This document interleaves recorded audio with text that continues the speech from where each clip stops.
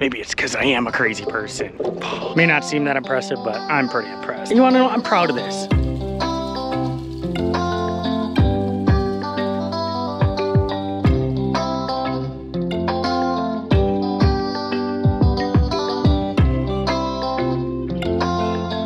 All right, everybody, we are back. It is a new week here at the ranch build. And as you can see behind me, we got a machine. This is gonna make my roofing a lot easier because, oh, there's a bunch of eagles flying over. I can just lift this whole pallet of shingles right there up on the roof. I don't have to be hauling shingles up ladders anymore. I hate loading up shingles on the roof by hand. And this is what happens when you pinch your belly between a pallet and a bundle of shingles. Ah! Burned so bad. So I got these five quarter by 10 fascia boards that go up the peaks here. We're gonna get those put on. We're gonna get the metal going up that side. We're gonna try and get a bunch done. I know I'm being very ambitious and I'm probably not gonna get as much as I want done today, but I've got this machine hopefully for a couple weeks and that will help us to get this whole roof done as well as getting the post and the beams up for the barn. I've got some more help coming on Friday. I got my good buddy, Alex, all the way from Wisconsin. He's gonna come out here and help me out for at least a couple weeks, hopefully. I've worked with him before. We work really good together. He's a hard worker. And so now we're gonna get stuff done. And I am amped. There's one thing I wanted to show you before we got started here. And we have a new tool here. So we ordered two pitch hoppers. Hold on a sec, let's get these out. So this is a pitch hopper. It's supposed to act like a portable set of roof jacks. And so it's supposed to just grip nice and tight. It's supposed to work really good on steeper roofs. We're gonna work on this and see how it works on the safe section first of all. On the sections where we don't have a flat roof below us here, I still will be putting a set of solid metal roof jacks on the bottom. But if this thing works, I don't need to keep moving roof jacks all the time. I can just use this to move around and that'll save me a ton of time. We're gonna see how they work. I've seen them before. My buddy Jason has seen them before, but no one's used them. So we're gonna give it a shot today and see how they work.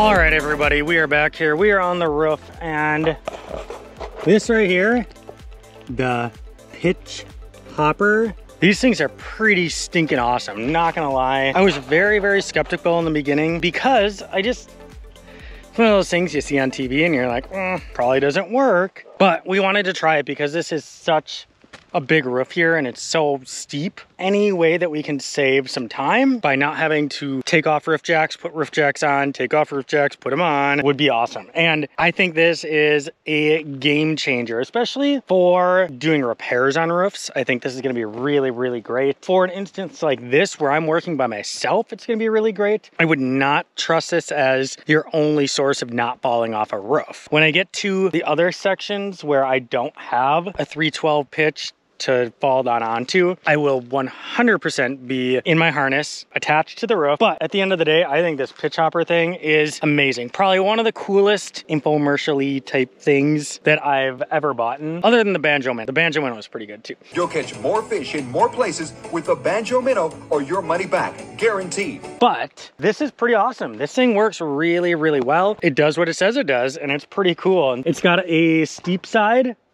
and then it's got a lower pitch side. So, I mean, right now it's sitting on a 1012 and it looks perfect where it's at. But if I was gonna be on say a 612 or a 512 and I just wanted to have something to be a safety zone where I can put tools, stack a couple bundles of shingles on. It's really good. I'm a pretty tough critic when it comes to tool stuff. So I'm glad that we got to test them out and check them out and see what they do. I would give it two thumbs up. I can't do two. I'll give it two thumbs up.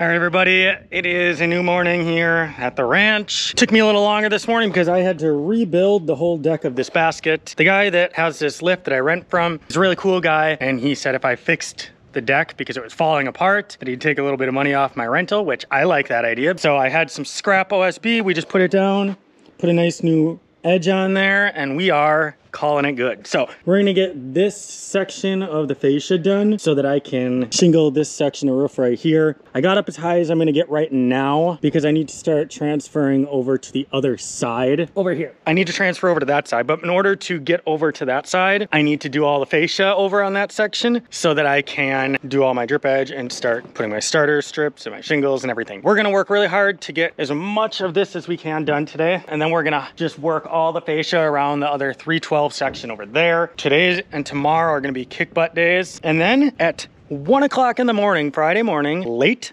Thursday night, I have to go and pick Alex up from the Amtrak. And yes, he's actually taking the train out here. Up until a couple weeks ago, I didn't know that Amtrak came to Sandpoint. So we're gonna get back at it. Let's get to work, guys.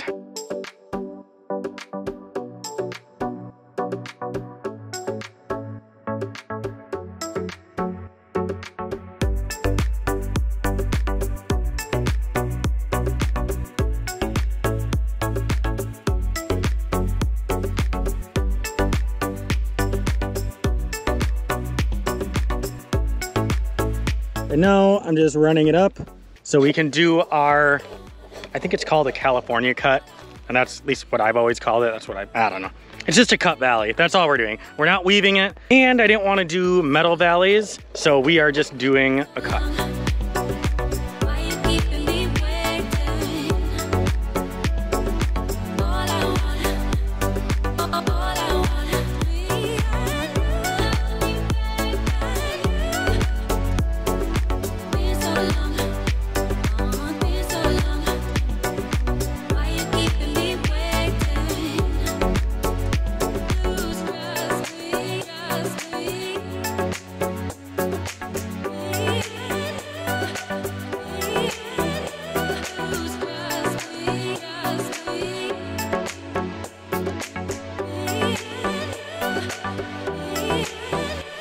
As you can probably tell, this looks kind of funky here.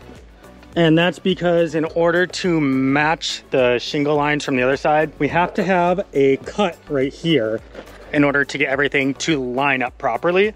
And so I had to do quite a bit of math and a bunch of running around, chalking lines and making sure that everything is spot on because I don't want to get up to the peak of this little thing here and find out that I'm an inch off or two inches off or uh, more than a quarter inch off for that matter. But that's why it kind of looks funky here, just in case anybody's wondering. It's just something that has to happen because of the way the rest of the house laid out. And I wish it would have been a little easier, but it wasn't. Doesn't matter, at the end of the day, I got it all figured out. We're gonna get this roof done. As long as I'm on, then I'm not even gonna worry about shingling right now. I need to get the rest of this fascia on I just wanted to make sure of where I was at first of all because this is kind of confusing.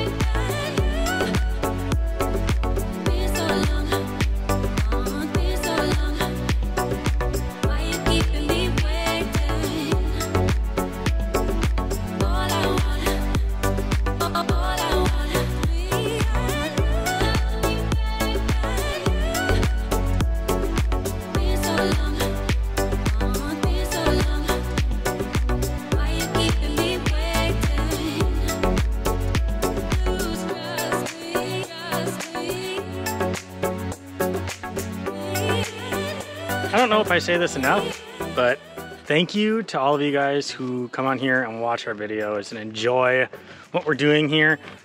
We're not just only building a house and then this is gonna be done. This is our entire life. This is what we do. We farm, we build, we garden, we do all this stuff and we like to do projects. And so uh, by you guys hitting that subscribe button, hitting the like button, the notification bell, commenting, letting us know what you guys want to see, what you don't want to see. Please do that because that helps us a lot. I want you guys to know that I appreciate it that you guys are coming here to watch me build this house. We really enjoy putting out these videos and B loves making the videos. And so by you guys subscribing and checking out our content and passing, passing it, passing it along and sharing it with other people, that's gonna be huge for us. And we're still gonna continue to do what we do anyway, because that's what we do. We like to do this kind of stuff. And either way, I'm still gonna be an insane person that thinks he can build a house by himself. Anyway, I just wanted to say thank you to you guys because it really does. It helps us out big time and hopefully we'll get to a point where we can just keep doing this and making videos for you guys. So we'll see you guys later. Oh, we're back guys. Hey, man, my hair looks like a crazy person. Maybe it's because I am a crazy person. We're gonna get going on this roof here. I've got some roof jacks right here. And we're gonna go up a couple rows and then we're gonna put the roof jacks on there. And then from there, I can use the pitch hopper to go pretty far up this roof. If I have to put a second set of roof jacks up halfway up the roof, I will. I do have my harness here. So once I start moving around on the roof a little more, I'll get harnessed up and we'll be all safe. We're gonna get this section right here done as well. I'm gonna try and do 15 square today. 15 square is 45 bundles of shingles. It's ambitious, but I do have the lift. It's gonna make my life a lot easier, so let's get to work.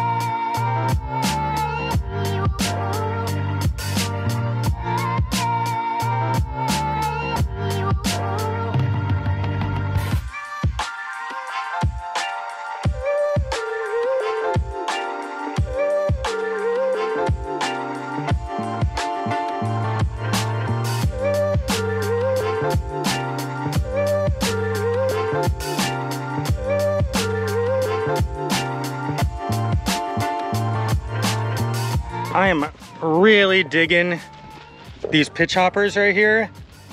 They're so nice. I haven't tried them on the 1212 yet, but on the 1012, they work awesome. Maybe if you're a roofer or a construction guy or you have to go up on roofs, even if it's just for small things, these are like the perfect thing for it. Doing the roof by myself and only having the lift and needing to use them to jump from section to section makes a big, big difference and it's so easy. Now back to the job at hand. Look at it guys. We matched up pretty close right here. As I was saying yesterday, we had to pull some chalk line or pull some measurements and chalk some lines to make sure that everything lined up all the way across from this side all the way over to this side since we had different starting points. I got it pretty stinking close. I think I'm about like an eighth to a quarter off, but I can fudge the shingles a little bit. I'll re-snap a line here and then we're just gonna readjust and get it all done. I am pretty amped that my measurements were right on. So I spoke a little too soon when I said that I got it within a quarter of an inch, my shingle line. It was a quarter inch from one end to the other end of the house, but there is a little bit of a belly in part of the roof here, and so I'm having to do a little bit of adjusting. I couldn't just run it straight across. You'll never notice it from the ground, which is good. I'm pretty good, I still got it, but I wasn't quite as good as I thought I was. So sorry everybody, I'm not perfect. I'm only a carpenter.